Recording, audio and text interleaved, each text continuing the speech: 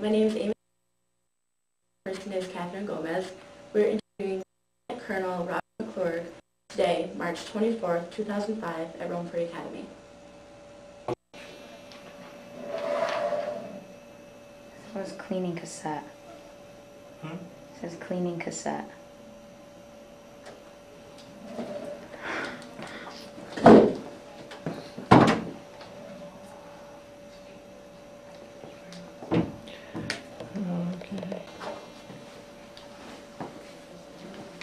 Good morning. Could you please state your name and rank? My name is Robert W. McClurg. My rank is Lieutenant Colonel, USMCR. Now, did you enlist or were you drafted? No, I enlisted. How did your family feel about this decision? My dad died when I was four years old. My mother, my brother, and my sister. I was the youngest of the three kids. But I started out in Newcastle, Pennsylvania, and I ended up in uh, Syracuse, New York. And why did you choose the Marine Corps? I chose the Marine Corps because back in 1939, I was enlisted in the uh, platoon leaders class in Quantico, Virginia. Platoon leaders class in Quantico, Virginia, if you went six weeks in your junior year, six weeks in your senior year to the Marine Corps training you would then come out as a Marine Second Lieutenant. But in the meantime, Pearl Harbor happened, and Pearl Harbor happened, then I was at college in my senior year, and in my senior year, I took flight training. I figured here's one course that maybe I can pass. And do you feel your training adequately prepared you to fly during the war? Say that again. Do you feel that your training adequately prepared you to fly during the war? Oh, yeah. Now, actually, what happened, I got nine other guys to join the Navy Air Corps. They told us we wouldn't have to write our thesis, we wouldn't have to take our exams, we would just graduate. And that sounded all good to them, but these guys were football players and basketball players, and here's little me had convinced them they should join with me. Well, the Lieutenant JG told me that he had to talk to the Dean of Men. When he came back to the campus two weeks later, he said, you're gonna have to take your exams. I said, I'm dead. Why? I said, these guys said, you told me they wouldn't have to take their exams, they wouldn't have to write their thesis. They're gonna kill me, they're twice my size. So he said, well, get a hold of them, we'll go up to the grill and have a Coke. I was going to Westminster College at that time. We went up there and he said, don't worry about passing your exams. They're looking for pilots, they're looking for anybody to get in and help stem this war that's gonna happen. So we went to Philadelphia Navy Yard as a unit of 10. I was the only one that turned out to be a Marine, the rest turned out to be Navy. I got my Marine commission as I graduated from flight school.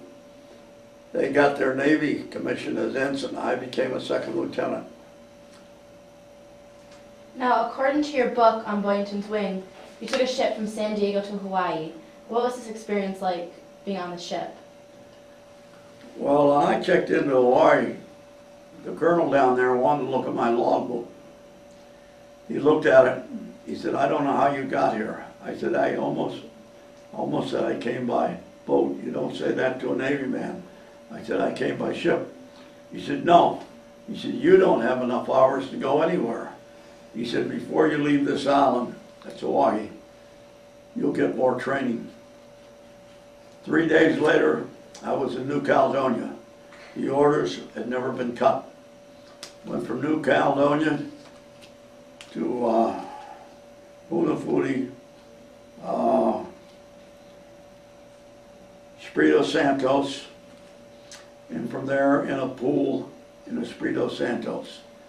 I was also on another island, Canton, and I think I told you, New Caledonia. Now, what was the weather like in these areas? The weather there was not bad at all, but the weather in the Pacific, very unpredictable, I found out later on. And I'm sure that affected your job as a pilot day Say to day. say that, say that again, And I'm please. sure, how did that affect your job as a pilot? It affects you an awful lot because we had no working navigation boards in our Corsair. We had to do it all by dead reckoning. Dead reckoning is when you take with your compass and you aim in on something here.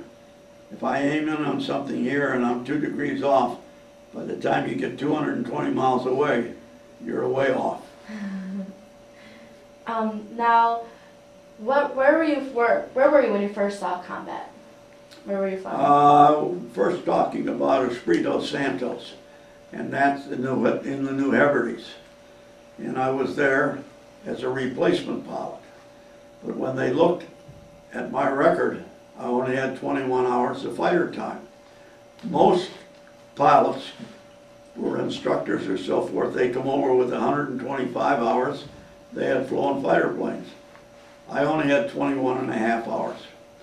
And that was in the Brewster Buffalo, and that flew like a rock. now, what, what events do you remember from this day? What eventually, what? What events do you remember from that first day of combat? Uh, the first, first real battle we get into, we had 30 Japs come down through us from a high cumulus cloud. They were trying to get at the dive bombers down below who were bombing their strip. And we ended up shooting down 12 of them, and they only shot down one of us, which made us feel real good. Hmm. Now, how did you become part of the Black Sheep Squadron? I was put in a replacement pool, and Pappy said, before you do anything, you gotta check out in the Corsair.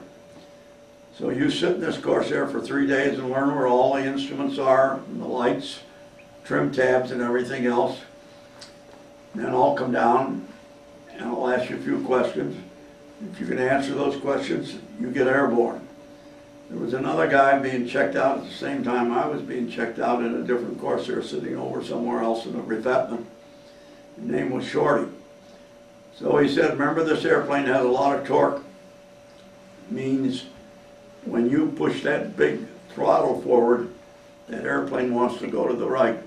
We were in strips that were lined with palm trees, as you can see them right in that picture there. Don't dare get that Corsair into the palm tree or you'll die.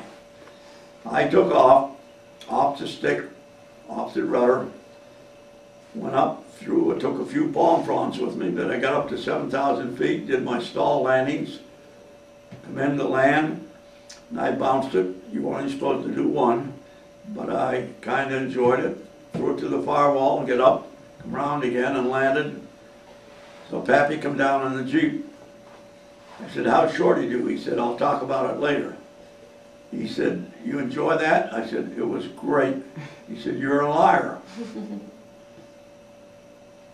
I didn't say anything more than that. I just waited for his next remark. He said, this airplane scared the holy Jesus out of me. I will tell you one thing. You fly like a big bag of air. Mm-hmm. Wasn't air. So I said, oh. He said, you're never gonna get home. Now, I'm 8,000 miles from home. But my mama never told me that. 8,000 miles from home. There's only one way you're gonna get home, kid. I have to teach you some fighter tactics. I have to teach you a lot of things. He said, you'll be my wingman for a while. My dad died, as I said before, when I was four years old. He took me under his wing and he taught me fighter tactics. He taught me a lot of things that I didn't know before. And as I said to other people this morning, there's three, re- three reasons I'm here. God put me on this earth. The Corsair brought me through the Pacific. If it hadn't been for Pappy, I wouldn't be talking to you today because he taught me many things. Now, could you show us that picture and tell us about the people in it? Yeah, this picture is a picture of the squadron. There were 51 pilots to begin with. Today, there's 14 of us. That doesn't mean we all got killed in the Pacific. Some of us died in old age. Some of them must have got lost at sea. That's a big ocean. And the other thing is, if I had to do it over again, I would do it over again if I knew what's coming out with all my fingers and toes. This picture right here, this is Pappy. That's me sitting next to him. There are about, we had nine aces in our squadron. Now I'll tell you a story that happened. I gave you a picture showing the ball bats and the hats. And that was done because our intelligence officer sent away to St. Louis. They were the leading baseball team at that time. He's, they told, they come back and said, we'll send you a ball bat for every ace in your squadron. We'll send you a St. Louis ball cap for everyone that shot down a Jap. Almost all of us had shot down a Jap. I was fortunate enough to get seven. The guy next to me got nine. Then we go over to Pappy, he got 26 or 28, this is later on. And then we go from him to our double ace, John Bolt, and he got, he got six with us flying the Corsair, then went to Korea and flew the Phantom jet and shot down five MiGs. So he was a double ace. Now, of those pilots, the only one in the front row that's left was me. Uh, this happens. Uh, I would say the answer to anything that is creating history, and this is part of history, and that's the most important thing. It isn't what we did. We were trained to do what we did. The most important thing is camaraderie between these pilots and each other. If we had a compass that didn't work, your wingman had one that worked. So you had to stay with your wingman. If you were going to get shot down or the engine caused trouble, they'd know where you went down if you had a wingman with you. It's a big ocean. That's why you camaraderie, staying with your your uh, wingman or your flight leader. Now, I see the symbol of the black sheep on your hat. Can you tell us about that symbol? Yeah. This symbol, and I gave you one of these this morning, was done by, they were gonna call the black sheep Boyington's bastards. Couldn't do that at that time because they don't print those words then, they print it now. So instead, we became black sheep.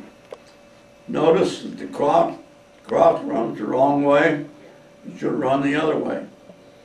We got 12 stars, one 13 stars. The Corsair is at the top of it. They became Boyington's Black Sheep Squadron. And what were you and the Black Sheep Squadron asked to do in your missions? Most of my missions had to be done by flying wing on Pappy Boyington or flying wing, whoever was your leader at that time. My job was to protect his tail. We protected each other's tails because we had 650 caliber machine guns. We protected each other's tails by turning inside each other. No Jap could come at you because you had wings to bear. No Jap could come at you from that side because you had, you had these guns pointing at them. So that was called the thatch weave, T-H-A-T-C-H. And we protected each other that way. Were you ever used to support field operations or Navy vessels?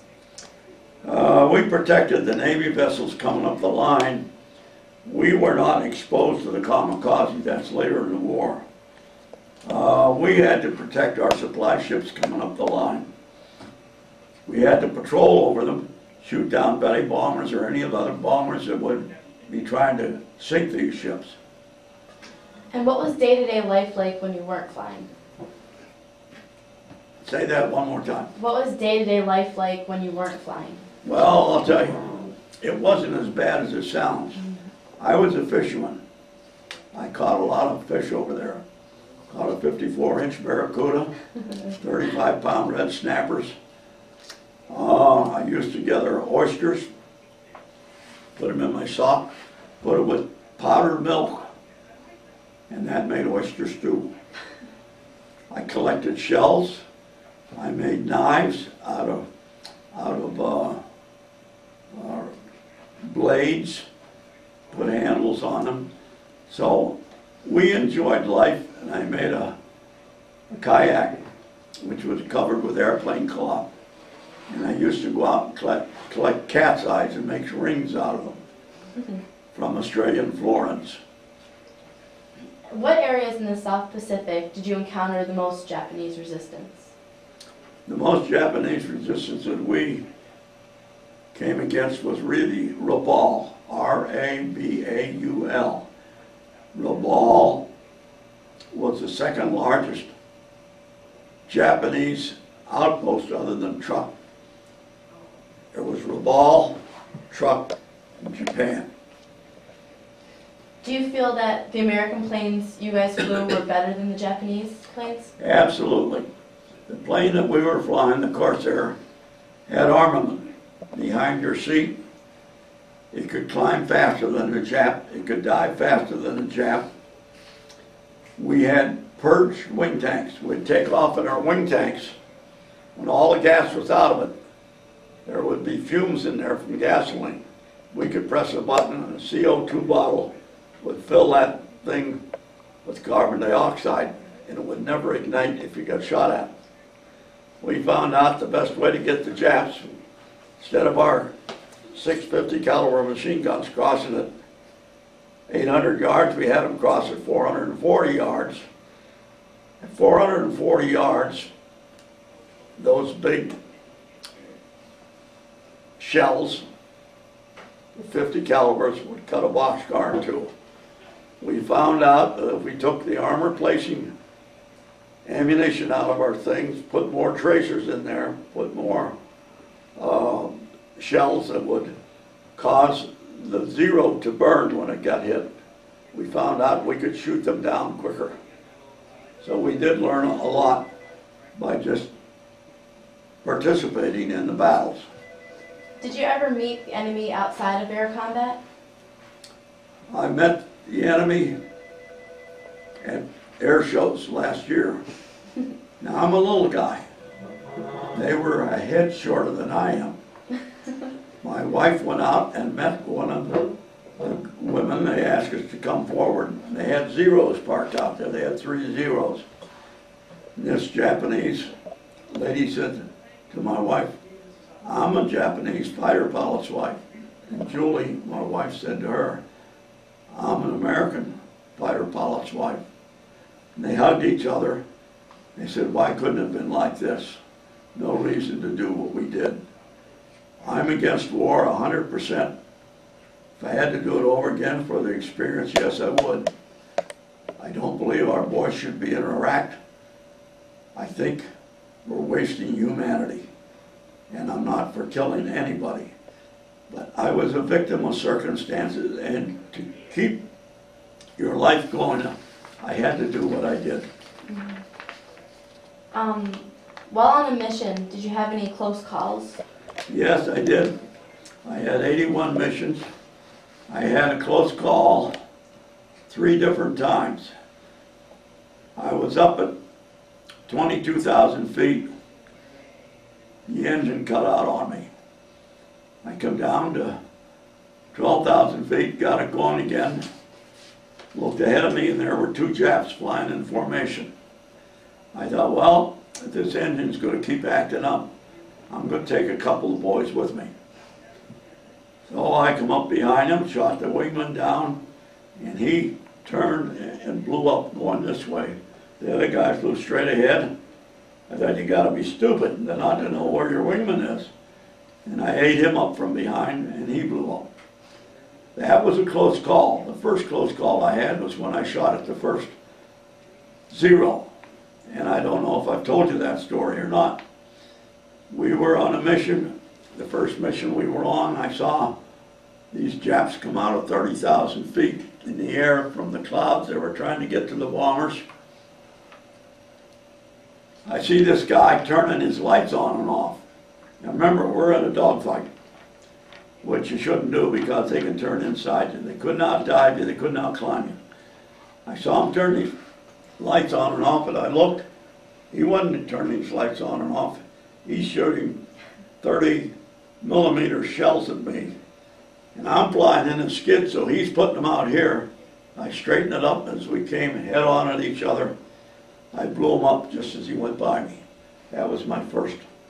The only other close deal is I brought a plane back that was pretty well shot up.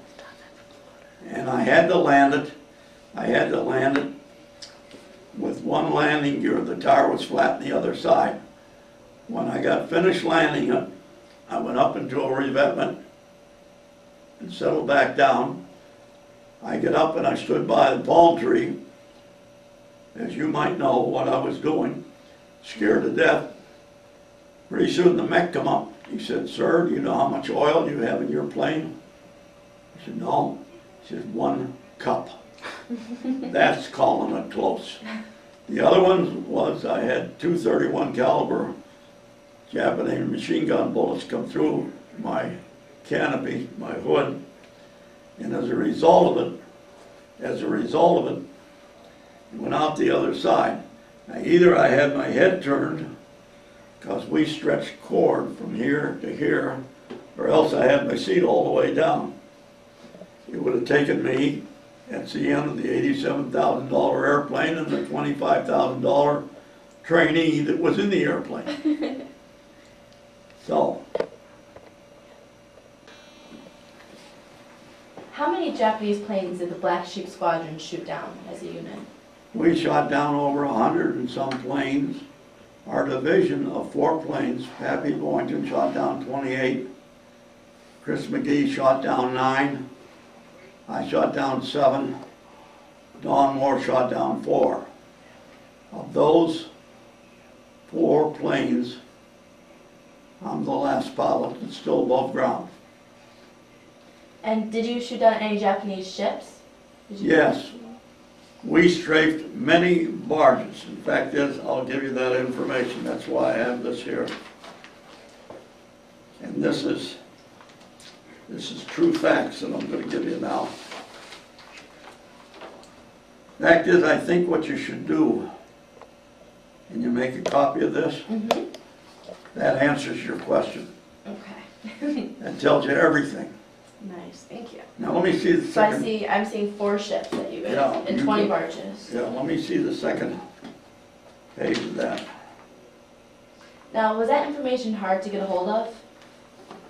Would this be hard to get a hold of? Mhm. Some people don't have it. I kept all of my stuff together. And could you show us a copy of the book that you wrote with this information? Yes, this is the, the book that I wrote with my co-author. This is me as the author, wait till I put these things in here. This is me as the author. Mhm. You can read about me there. This is my co-author who was an engineer. It took us six and a half to seven years to write this book. And the book was written to straighten out the people that believed the Black Sheep show was rather strange. But it had to be done that way. And it had to be done that way because who is going to watch somebody taking off in the dark in a rainstorm. There's no romance in that. The only way you can make it romantic is to put some women in it, and the kids would watch it, and the women would watch it. And that's why I wrote this book. I straightened them all out. These are the facts from the Pentagon, which is the place that had all the information that no one could get a hold of during the war. These are the facts from our intelligence officers' reports. These are the facts from my a logbook. Everything in here is true. There's many pictures in here. This logbook, this book, an intelligence report will give you true facts of what the black sheep were all about. Before I leave here, I think you gotta take this picture. Because I'm gonna answer your question this way. Two tours of duty. We shot 96 airplanes down. Third two, tour, we shot down 57. That's 153 total airplanes we shot down. 96 enemy planes were destroyed in aerial combat. And of those planes, 93 of them were over enemy territory. 34 enemy planes were probably destroyed in air combat. That means they didn't catch on fire. So you can't count them as a real kill, but they, they don't catch on fire, you can't count them. That's about, uh, 50 enemy planes were damaged in aerial combat, enemy planes destroyed on the ground, about 21, that's 201 airplanes. We shot up a 100-foot AK uh, barge, a 50-foot AK, a barge, a 70-foot Japanese-operated Chinese junk destroyed, a 70-foot steam launch destroyed, 20 Japanese barges destroyed, three Japanese barges loaded with troops destroyed. That was something else. Uh, one raft loaded with enemy troops destroyed. 15 other craft probably destroyed. 123 Japanese bivouac areas. Four Japanese uh, airfields destroyed. Kahili, Kahara, Malali, and Bratop.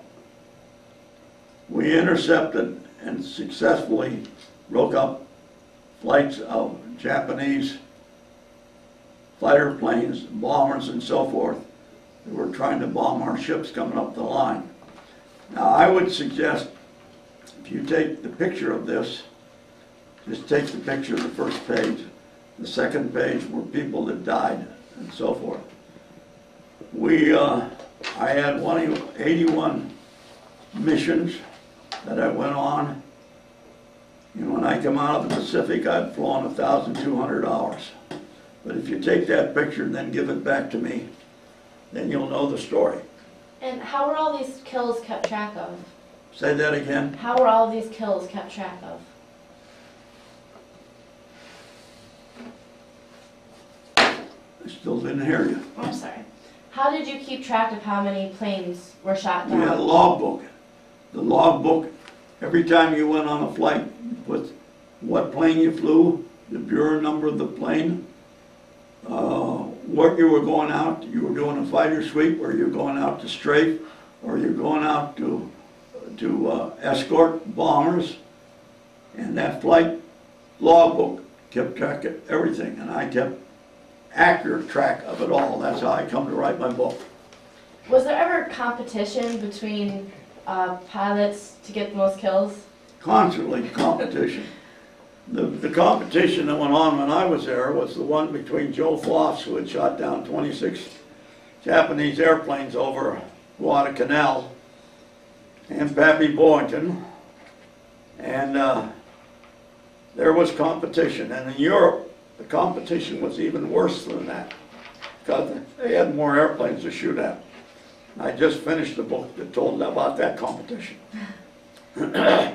Um, what does it take to become an ace? Takes five planes that have burnt were witness and crashed at a certain place. Probable one that smokes and doesn't burn. You can't count that as one to bring you to the ace status. Of course, as I told you, I shot down seven, but I was trained to do that. I, I shot down a float plane roof float plane, that was a Japanese plane. In an aerial combat, following Pappy up through a loop one time, he shot down a plane. and he flew through the own debris of it, and they all got over the front of his windshield, and he couldn't see out, so we had to go home. But I'm just lucky to be able to talk about these things. Well, who do you remember the most from your service? People I remember most, probably, was my squadron mates, Pappy Boyington, Chris Magee, Don Moore, Jim Hill, Ed Harper, John Bolt, our double ace. Wow. Um, how was Pappy Boyington as a leader? Pappy Boyington as a leader was very aggressive. He believed in a job being done. He could care less for medals. He was sent over there to get the job done. Did he hate the Japanese? No. He only hated what they did. Mm-hmm. And he was of the opinion they had a job to do, we had a job to do. Now it's the one who survives. And when and how was he captured? That was a story in itself, and I'm glad you asked this question. Four days before I was flying wing on Pappy, and I wanted to be with him when we, he broke the record, which was 26 airplanes, 25 airplanes. And I was going to the Johnny at night. I had dysentery, and I was going to the Johnny at night. I tripped over a tent rope, fell and sprained my wrist. Well, when I sprained my wrist, they x-rayed it. They x-rayed it with what x-ray machines they had over there. He said, you might have cracked it, but you didn't, didn't break it, but you can't fly anymore with that kind of a setup because you are a detriment to the squadron. If you can't activate holding the stick back, pushing the throttle forward and do this or that, you might run into your own men. On that particular day, Captain Action is right there. He had reoccurring malaria. And he was supposed to, we get up at 3.30 in the morning, he was supposed to take the flight with Pappy. But he had reoccurring malaria, so we threw blankets over him. And I went down and told somebody to put my name up on the board, take his name down. But as I got in my airplane to take off, the doctor got wind of this, the flight surgeon, and he pulled in front of the Corsair and wouldn't move. I had to get out, stop the airplane, get out of the airplane. And uh, then they went to Bougainville, gassed up, and Captain Mashon was able to catch them in Bougainville, and he became Pappy's wingman that day. They went over in a fighter sweep to Rabaul. They were 20,000 feet, and Pappy decided there's nothing to shoot at, so he's going to go below the cirrus clouds, which was down around 10 or 12,000 feet. He went down with George Ashmun. As they got below the clouds, eight Japanese fighter planes jumped them. They, Ashmun shot down one, Pappy shot down a couple. And as Ashmun, as Pappy looked at Ashmun, Ashmun was heading straight down. Not straight down, but in a gentle glide. And he yelled to him, roll over, split S, get out of there. He evidently had been killed in his own airplane. So that was the end of Ashmun. Then they shot Pappy down. They blew up his dashboard with 30 millimeters. He rolled over, and as he bailed out of his airplane, his leg hit the horizontal, no, the vertical stabilizer. He broke his leg. Well, he hit the water just as the chute opened. He pulled his Mae West. It was full of holes. So that wouldn't keep him up. So what he had to do was get a hold of that life raft, which was encased below, below, above the parachute. So he was able to get into his life raft. he floated around for quite a while and he saw this Jap sub come, he saw this sub come and he thought it was one of ours. Well, it was a Japanese sub. They picked him up, they took him to Rabaul, they kept him there at Rabaul. Finally, they took him to Truk. As he landed on Truk, the Navy, this is later on, of course, the Navy hit them with 500 pound bombs. He said, well, I'm not gonna get killed by the Japs, I'm gonna get killed by our own people. He didn't get killed. There was an intelligence officer, his name was Honda, just like the Honda car, said, we've gotta get back to the mainland, to Japan. Because he knew MacArthur was bypassing these islands. And those people were starving, the Japs were starving. The thing ended up, they took him to Truk. He worked for the lady in the kitchen. and got to be very familiar with her. She's a real old lady. And he had taken handfuls of lard and eaten it, said it just tastes like honey. That's how starved they were. Pappy made it back to the mainland of Japan. Harold Stassen, who was the runner for presidency, found out, it was written in flour on the roof, Pappy is here.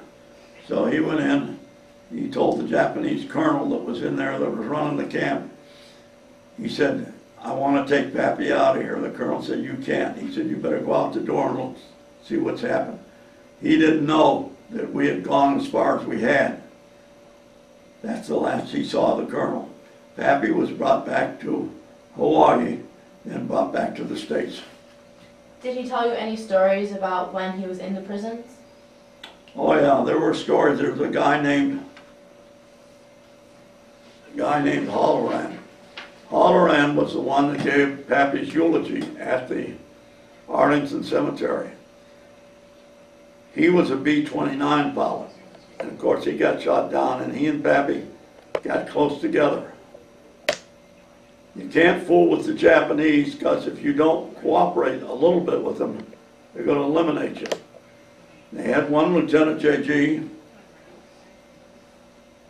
You know, Lieutenant J.G. said, I'm only going to tell them my name, rank, and serial number. Pappy said, you can't do that. They'll kill you. Two days later, they killed him. And how do you know how long Pappy was held prisoner for? How long he was a prisoner? 16 months. Um, now, did you perform any unusual services or duties while in the Black Sheep Squadron? Uh, yeah, I kept them with fresh fish. I, uh, I took care of Pappy's pocketbook when he got in wrestling matches. He loved to wrestle. And he got a little bit of sauce.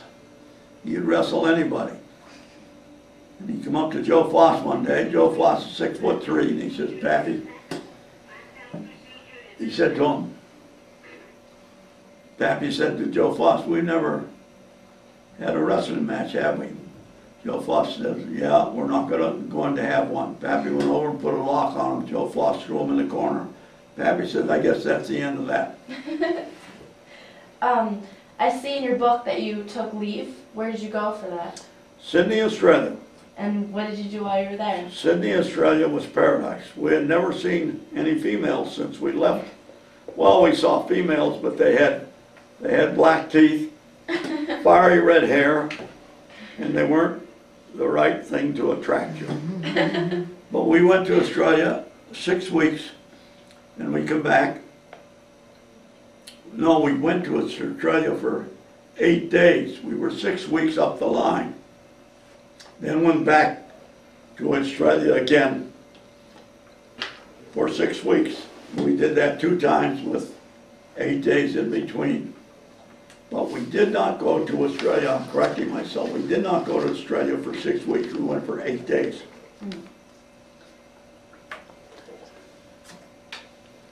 Um, what experiences in your service left the greatest impression on you?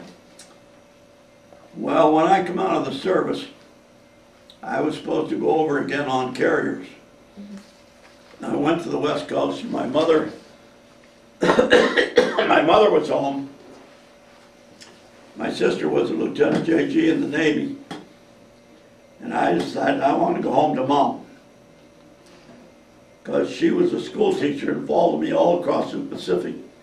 By the letters I wrote to her, if I was in the New Hebrides, I'd write to Mrs. N.H. McClurg. She'd get out her map, geography teacher, he's in the New Hebrides. And that's the way she traced me across the Pacific. Oh, because it had to be kept secret where you Right. were? That's, um, where were you when the atomic bombs were dropped in Japan?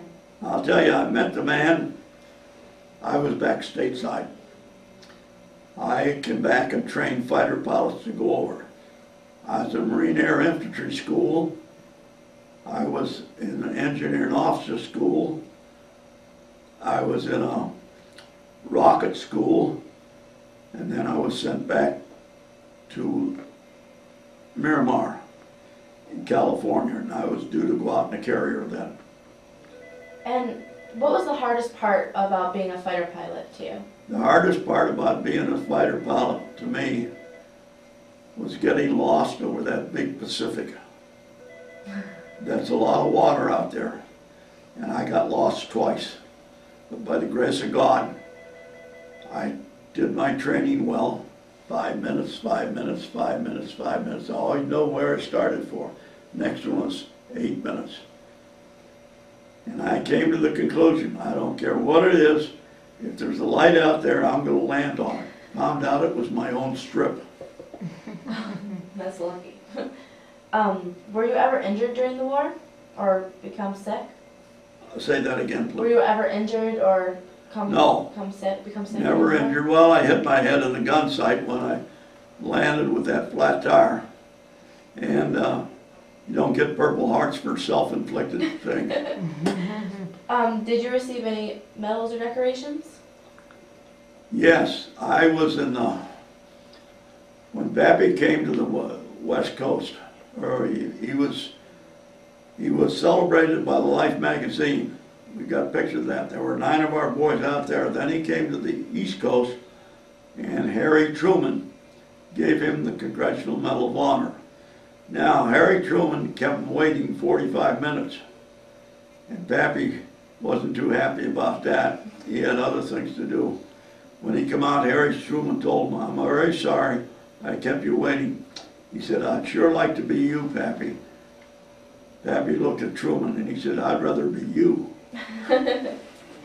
Um, after the war was over, did you keep in touch with Pappy and your other?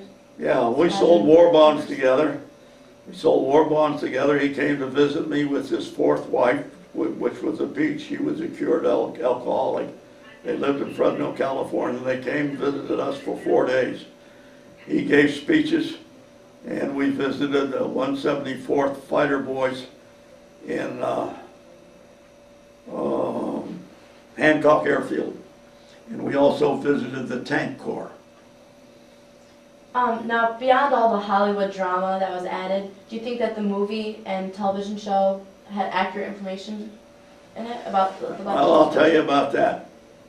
I was invited to go by Major Chapman, who was Gladys Swarthout's husband. She was a noted opera singer. I was invited to go to Washington DC to be interviewed and appear on Milton Berle's program, Let Yourself Go. On that program was Errol Flynn. Errol Flynn was the most handsome guy you've ever seen. And of course, he had a million women chasing him around. So I met Errol Flynn and I appeared on the program. And the main question was, what would be your secret ambition? I said to give my mother a trip to California to see my brother who was working for Boeing Aircraft at the time. They said, well, we're giving you a check to do that. So I appeared on that program and it was marvelous. I went to a, I went to a party on the East River because Major Chapman said, you can stay over. I said, I have a girlfriend that I knew that lived in New York City in Larchmont. I'd like to bring her. She says, bring her. And of course, she was a stunning girl. Of course, I never married her, she never married me. So anyway, uh, we went to that cocktail party and I met a lot of opera singers. And they were very down-to-earth people. I come out of the service, came home, became a manufacturer's rep, selling plumbing and heating to the wholesalers of plumbing and heating. I also see that you were on the History Channel. What was that experience like? Yeah, I've, I've appeared on, I'm not bragging, uh, it's just nice to be recognized. I appeared on that in many programs and was separately interviewed. And there were other black sheep that were on that program too. Um, how did all of your experiences as a fighter pilot affect your life? It's affected my life because I'm still living the war. I'm still selling the book. Does it get to be rough sometimes? Yeah, you wonder how much longer you're gonna hold on playing war. But that's part of history. That makes me feel a little better. I'm not just bragging about what our squadron did, I'm bragging about the fact that you people are recognizing history. And this should be taught to our kids, the sacrifices that have been made. It's like Tom Brokaw said, the greatest generation. We were the greatest generation because there was no other way around. And we were pleased to be part of the greatest generation. Um, what exact medals and decorations did you receive? Say that again, please. What exact medals and decorations did you receive? I received, and I gave somebody that little piece of paper there that has it all on there. Oh, it out there. We'll do it. She Off the had- top of your head. which All one right, do you I, remember? I received five distinguished flying crosses, eight air medals, two presidential unit citations. No squadron has ever been issued two presidential citations, and our squadron was. Did you have any Medal of Honor winners in your squadron? Uh, no, Pappy was the only one. And he got it posthumously, and then when they found he was a prisoner of war, they gave it to him again. His first wife got rid of the first one by selling it. I'm sure he was happy about that. Yeah. Um, did, did you join any organizations after you retired from the military? Oh, I become, um, I belong to the American Legion, and, uh, I belong to many sales organizations, and, uh, I traveled all of New York State, except the metropolitan area of New York City. Do you have any other war stories that you'd like to tell us before? The only other war story that I could remember that I'd like to tell, it had to do with Jim Hill. Jim Hill's compass wasn't working, and his wingman, he was headed out of the battle in Rabaul.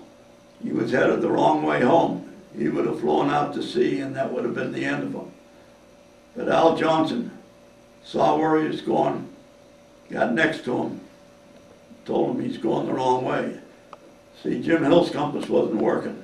Al's was. And Al brought Jim Hill back. It seemed like the compasses stopped working a lot, a lot. How could you tell if your compass wasn't working? Well, if your compass isn't working and you were alone, you would never know which direction to go once you've been in the fighter suite. Mm. I had, I had an engine cut out on me. And I think that was the day I decided somebody else was going in the water beside me. That's when I shot down two Japs. And it was pretty simple because I'm coming up from behind. So I don't think they were the brightest boys. But they could, they could outmaneuver you, and they shot a lot of us down.